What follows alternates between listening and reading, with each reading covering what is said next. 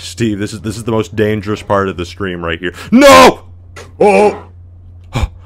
So I need you to I need to get back to our base as fast as Okay. possible, brew health Okay. potions, and save Steve.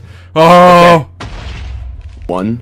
Do not screw this for me, Piglin. I swear to God. I just keep walking. I, just from one brother to another.